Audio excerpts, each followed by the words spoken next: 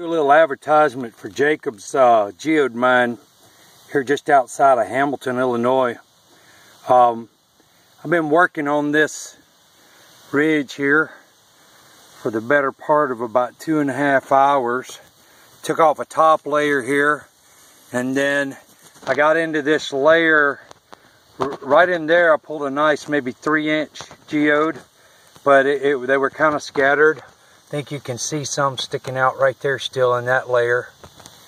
And then as you come down, we got a real nice, probably four inch wide geode.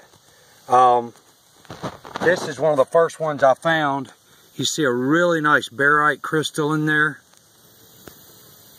One of the very first ones I pulled out, maybe a two inch geode.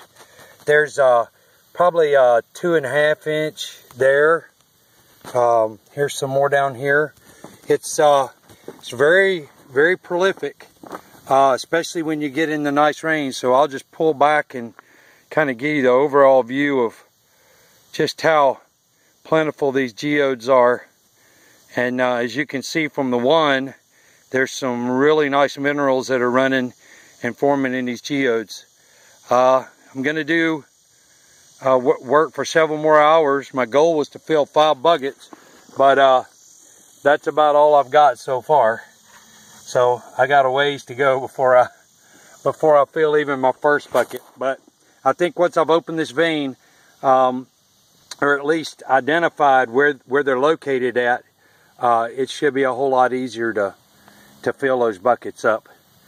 All right, I can't give anything but uh, four thumbs up for for Jacob's Geode Mine.